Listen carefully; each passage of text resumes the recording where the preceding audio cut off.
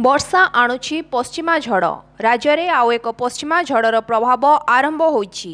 ଦେଶର ଉତ୍ତର ପଶ୍ଚିମ ଭାରତରେ ବର୍ଷା ହୋଇଥିବା ବେଳେ ଗତକାଲି ରାଜ୍ୟର କିଛି ସ୍ଥାନରେ ବର୍ଷା ହୋଇଛି। ଆସନ୍ତା ସତେଇଶ ତାରିଖରୁ ଏହାର ପ୍ରଭାବ ଓଡ଼ିଶାରେ ବଢ଼ିବ। ଆଜି କିଛି ଜିଲ୍ଲାରେ ବିଜୁଳି ଘଡ଼ଘଡ଼ି ସହ ବର୍ଷା ସମ୍ଭାବନା ରହିଛି। ପାଣିପାଗ ବିଭାଗର ଆକଳନ ଅନୁସାରେ ଛବିଶରେ ଉତ୍ତର ଓଡ଼ିଶା ଆଭ୍ୟନ୍ତରୀଣ ଓଡ଼ିଶା ଓ ଦକ୍ଷିଣ ଓଡ଼ିଶାର ବହୁ ଜିଲ୍ଲାରେ ବର୍ଷା ହେବାର ସମ୍ଭାବନା ରହିଛି।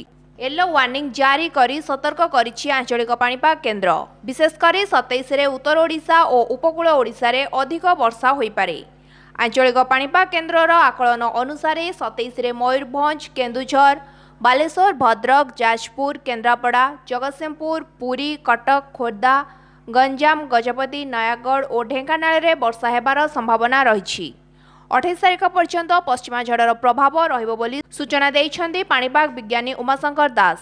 ପଶ୍ଚିମା ଝଡ଼ ପ୍ରଭାବରେ ବର୍ଷା ସହ ବିଜୁଳି ଓ ଘଡ଼ଘଡ଼ି ମାରିବାର ଆଶଙ୍କା ରହିଛି। ତିରିଶରୁ ଚାଳିଶ କିଲୋମିଟର ବେଗରେ ପବନ ମଧ୍ୟ ବହିବାର ଆଶଙ୍କା ରହିଛି।